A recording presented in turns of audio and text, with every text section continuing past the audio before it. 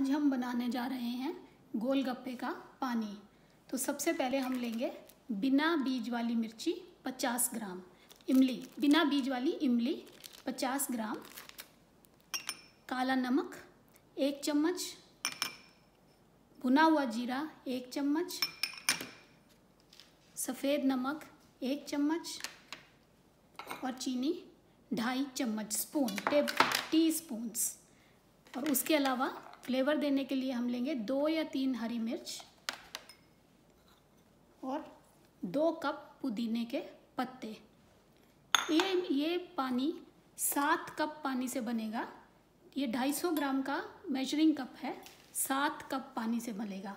पहले हम इमली 50 ग्राम इमली को एक कप पानी में भिगो देंगे। तीन चार घंटे भीगने के बाद उसका हमने ये पल्प तैयार कर लिया है। ये एक कप पानी में 50 ग्राम भीगी हुई इमली को ये हमने निकाल के अलग कर दिया है, जिसे हम फेंक देंगे, और ये हमने इमली का पल्प बना लिया है। इस इमली के पल्प को हम एक बड़े बर्तन में डालेंगे। एक बड़े बर्तन में डालेंगे। इसमें डालेंगे बचे हुए छः कप पानी। तो ये हमारे पास छः कप पानी है। देखिए 250 सौ का ये कप है। एक कप में हमने इमली भिगोई थी और छः कप पानी हम इस तरह से डाल देंगे। तो ये हो गए पूरे सात कप पानी। इसका बहुत ध्यान रखिए क्योंकि सात कप पानी में फ्लेवर पूरी तरह से उठ के आएगा। पतला हो जाएगा तो फ्लेवर अच्छा नहीं आएगा। अब इसमें हम डालते हैं एक चम्मच काला नमक। देखें, लेवल करके एक चम्मच काला नमक। एक चम्मच भुना हुआ जीरा, एक चम्मच सफ़ेद सीधा नमक, अब और ढाई चम्मच, एक चम्मच, दो और आधा चम्मच और ढाई चम्मच चीनी। अब इसे हम उबाल लेंगे।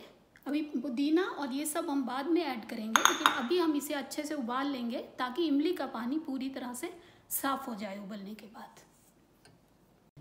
ये पानी पाँच सात मिनट तक उबाल कर हमने हल्का ठंडा कर लिया है और इसी पानी को थोड़ा सा डालकर हमने पुदीना और हरी मिर्ची का ये पीस कर पेस्ट बना लिया है।